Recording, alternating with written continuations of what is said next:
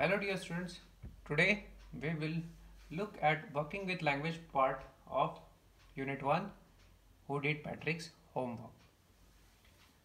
The first question here is fill in the blanks in the sentences below with the words or phrases from the box. You may not know the meaning of all the words, look such words up in a dictionary or ask your teacher. Now we have we are given few options. They are either words or they are phrases.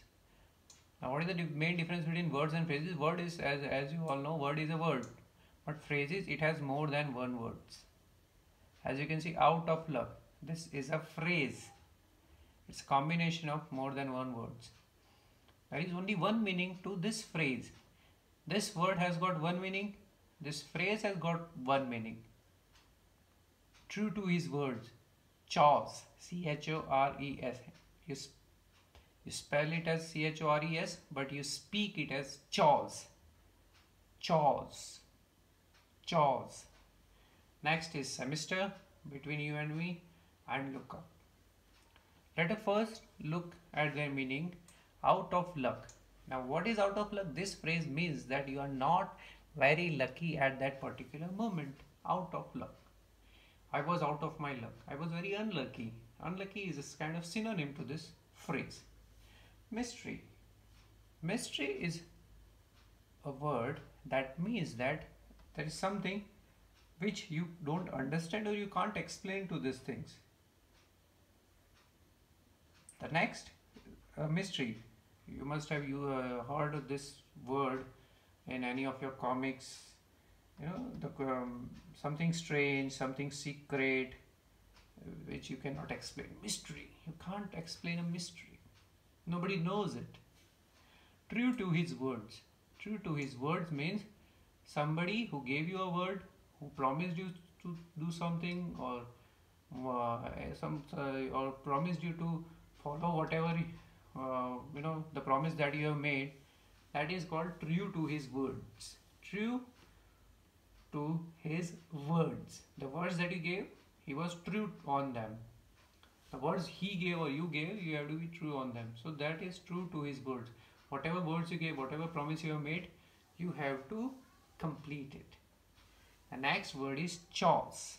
Now chores what is chores? As you can see in the unit also this word was used. Chores means daily routine work. There are many things you do when you wake up you brush your teeth you go to washroom you do yoga whatever all these things you clean up your bed you clean you prepare your bag to go to school. These all things comes in chores. Most of you must be doing it.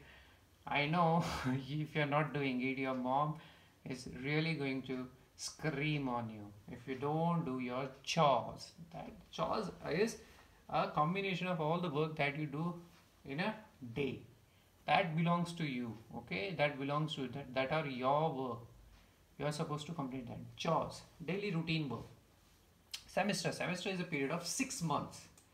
Semester is a period of six months.